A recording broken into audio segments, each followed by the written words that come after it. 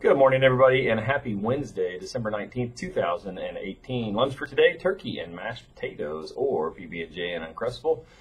Fourth grade, they get their first choice today. First choice only there today. Happy birthday today to William Miller. Happy Mr. Miller.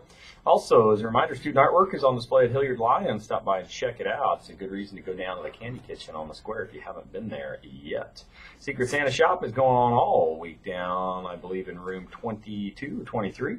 Uh, also, we've got first grade MCT vision checks in Miss France's office. That will be this morning at 9 o'clock. Also have a holiday dinner today in the cafeteria from 11.10 to 1.25, and we do have some differences there on the lunch schedule, so please make sure that you check out that holiday dinner schedule for today. Fourth graders will be going last today. We need some time to prepare some things for them, a little bit of a special day for them.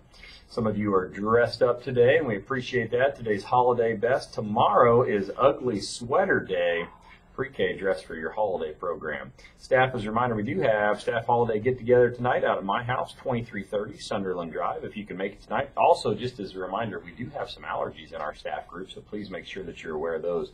Uh, if you are bringing food or dishes today, if you need be, just check with myself or Mrs. Flainer in regards to those.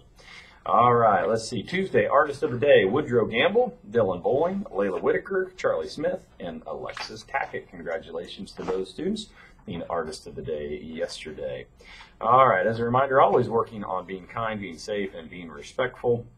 Had a got caught winner yesterday, and I believe that was a Knead the Dough coupon for a free choice of donuts. Sounds awfully good right about now.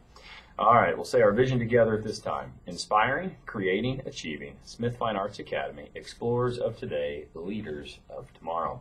Here in just a second, if they haven't already, your teacher will lead you in the pledge to the American flag, followed by a moment of silence. We hope you have a wonderful Wednesday.